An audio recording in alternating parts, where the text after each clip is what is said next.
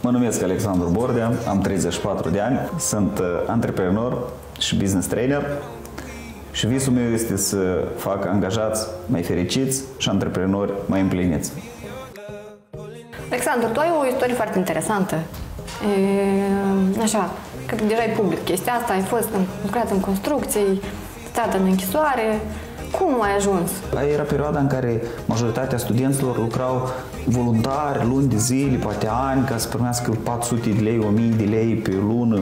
Tu vrei să faci bani rapid, să Exact, da. Aveam prieteni care lucrau cu 1000 de euro pe, pe lună și în momentul ăsta te gândești, păi, lucrez un an de zile și îți iei Opel Vectra, îți iei Barset, îți iei Nokia 3310, în 2-3 ani îți iei apartament.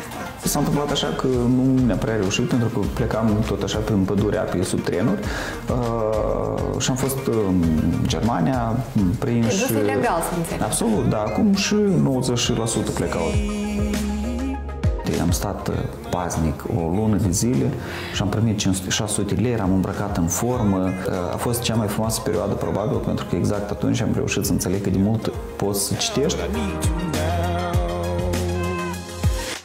Nu erai să fii tu, Alexandru Bordea, cel de acum, dacă nu treceai prin toate chinurile astea.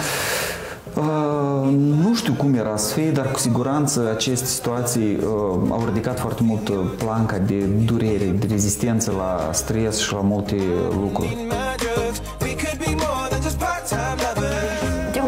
Să număr toate joburile și tot ce ai tu, că sunt foarte multe, ești speaker motivațional, business Păi nu știu trainer. dacă motivațional, Toate în asta, cum le aduna pe toate?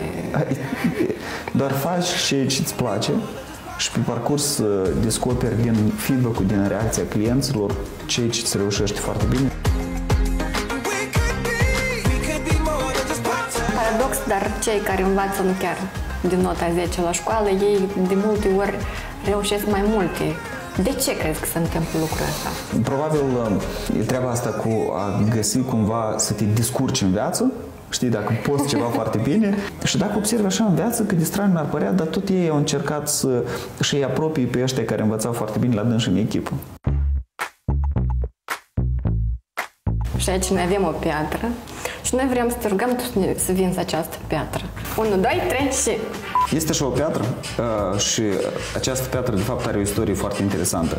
Dar înainte de asta vreau să te întreb, prețuiești tu tot ce înseamnă uh, frumos, uh, artă și scump? Nu prea, nu prea mă Nu interesează. prea. Și eu eram cumva din categoria celor care nu prea atrageau atenție, până când am descoperit că o asemenea piatră a schimbat foarte multe vieți. Mai e ce inclusiv să se pe ale mea. Nu trebuie să o cumperi. Dar ar fi bine dacă ai vrea să fii mai fericit. Spuneam de fericire și spuneam încă de... de Sănătate. De sănătate, exact. Nu știu, nu mai e convins. Eu foarte mult aș vrea o casă cu malul mării și dacă tu îmi ziceai că asta e un impuls, ca să... Asta e piatra de temelie, Da. la casa ta de malul mării. Da. Baby, I just gotta know. Și foarte mulți antreprenori care chiar au pornit și au riscat prin anii 90 în Moldova să facă business, astăzi vin și se instruiesc pentru că ei înțeleg într-o lume nouă nu ai cum să, gă- să trăiești cu o gândire veche. 14 februarie am citit la tine pe Twitter. Ți-ai vândut cumva cursurile, dar într-o manieră foarte mm, ingenioasă. Ai zis că un cuplu nu o să dureze dacă ambii nu o să fie la fel de Așa este. Pregătiți într-un fel și le... Asta se întâmplă zilnic.